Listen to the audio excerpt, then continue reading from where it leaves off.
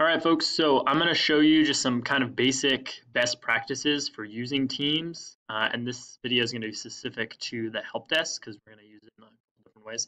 So I'm going to actually get out of the web app and go to the app on the desktop. Um, and again, to download that, if you're in the web, you can just go over here to Get App and then install that and log in. Um, so I'm going to minimize that and go down to the app here, and you'll see I'll see my list of teams.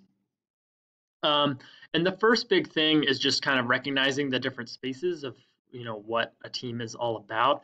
So if you click on your team, you'll notice that it expands and shows the different channels that you have as part of your team. In a way, these are just used to organize different conversations. Um, and so if you go to the general channel, this is kind of the most basic channel, um, and it will basically show anytime a person is added to the team, um, and if you have any general questions, you can post them here uh, and someone will reply to you. Um, so when posting a new message, you can just come down here to the very bottom and you can start typing what question you want to ask. And if you want to ask it to a specific person so they get a notification, you just need to do an at symbol and then start typing in their name. So I'm going to demo with Joe. I could be like, Joe, what is what are the names of your first period help desk students. And then when I hit enter, that is going to notify Joe that I just mentioned him in Teams and he's going to respond. Now, if you're going to respond to somebody, it's really important that you don't click here, down here to start a new conversation. You really want to click on the reply feature. Otherwise, it's going to be hard to tell if whether or not you're replying to their specific question. So if I want to reply to myself, I just click reply, just say,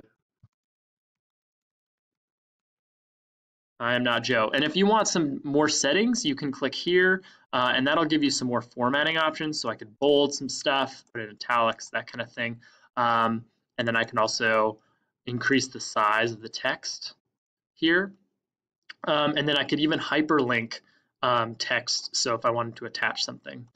Um, along with attaching things, Teams supports attaching different documents. So you can go down here to attach and you can search your OneDrive or upload from your computer. So if you want to share a video or share something you're working on, you can uh, link it here and people will have access. Um, and then you can also do GIFs um, that you can search for here, which are great. You also have emojis, um, different stickers. And then this Meet Now feature is something where you can use the webcam to kind of start a meeting um, with the person um, regarding this conversation. Um, and then there's some additional settings that you don't really need to worry about. If you want to pose a question to everybody and for them to get a notification, um, all you have to do is click at, and you can even you can either say the channel name like general um, to notify the channel, or you can just do at and name the class. So help desk,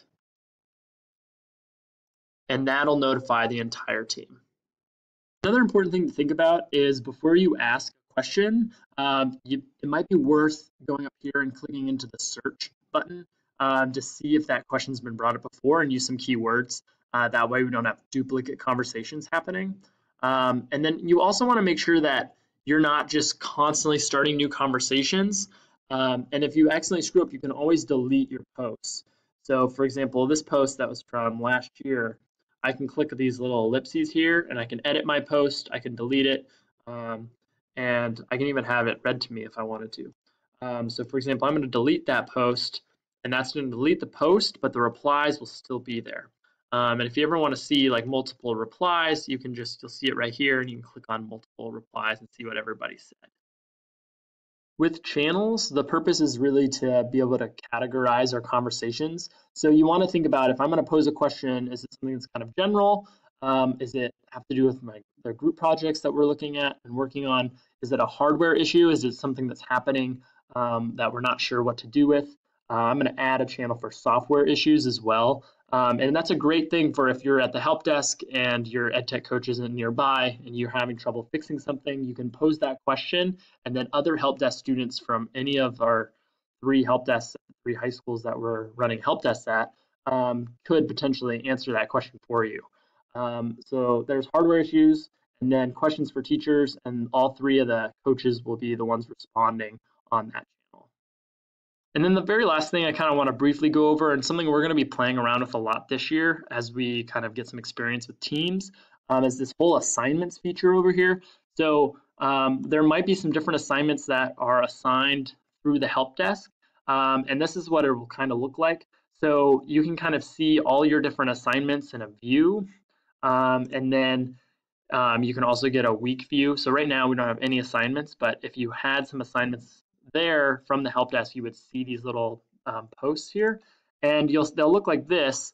Um, and this is kind of a teacher view showing me how many people of the 24 turned them in.